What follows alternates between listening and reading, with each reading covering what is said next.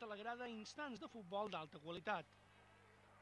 Un Real Mallorca que presentava qualcuna novetat interessant a l'equip titular, com a la presència de Soler Ferrat a la banda dreta i la d'aquest home, el número 11, Michael Obiku, que debutava per primera vegada a l'estadi Lluís Sitjà. Obiku va ser l'autor de dos gols i va deixar gotes d'un vertader davanter centre, encara que, curiosament, aquesta no era la posició que ocupava en l'equip del que procedeix, el Feyenoord de Rotterdam. Assistim al primer distants de partit i veurem tot d'una el primer dispar a porta de David, que surt desviat.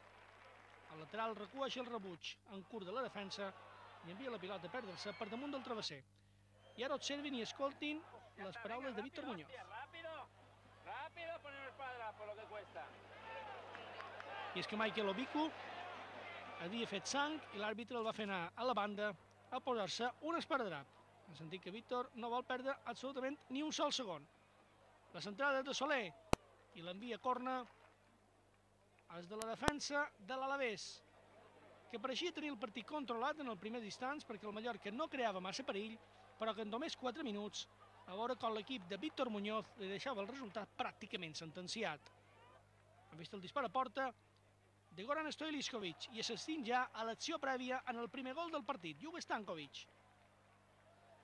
Aquí se'n va de José María. Seguirà jugant Stankovic, hi haurà rebots a la vorera de l'àrea, un dispar de José Manuel, aquí està, el rebuig de la defensa, arriba Galca, Galca dispara i la pilota al fons de la porteria, l'1 a 0. El primer gol del romanès Constantin Galca en Lliga a la camiseta del Real Mallorca. I com veuran a la repetició, el dispar és fortíssim i ajustat, però Tito pot fer més per aturar el remat del romanès Constantin Galca.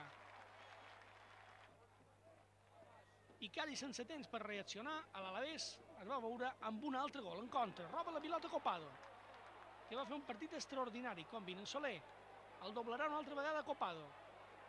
Li tornarà la pilota Soler, el primer toc Copado, i en el punt de penalti Obiku, bota més que ningú, i canvia la pilota de trajectori per enviar-la al fons de la porteria. Michael Obiku.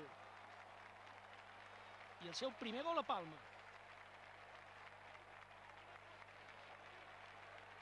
Se'n dona en compte la repetició que la jugada de contraatac és perfecta. El roba de pilota i la definició en tres tocs Soler, Copado, Obiku. Que vota més que ningú i envia la pilota a un lloc impossible per Tito. Una darrera repetició amb el sensacional gol de Michael Obiku. Un ho torna a provar. La centrada serà Stojliskovic, Obiku dispararà i al final, després d'un rebuig, la pilota arriba a les mans de Tito. Pareixia que el partit anava cap una golejada, perquè el Mallorca era en aquells instants molt superior al seu rival, en l'Alavés. Però l'equip vitorià va demostrar que no es ni molt manco mort i que encara tenia moltes coses que dir en el partit. Serrano rebrà aquesta pilota en banda dreta, s'entrarà, rematarà José María, rebutjarà Quique i Pedro marca el 2-1. Un gol que no podia fallar absolutament ningú. Pedro. Per posar el partit una mica més interessant, però el Mallorca es va encarregar tot d'una de tornar a fer de cantar cap al seu costat el resultat. Mentrestant, vegin la brega que té el quart àrbitre en Pitx Alonso i en Víctor. I és que la figura del quart, del quart àrbitre està més per molestar que per altra cosa. Damunt del terreny de joc i mentre eh, Víctor encara discutia amb el quart àrbitre, arriba el tercer gol, Copado, Obiku i gol.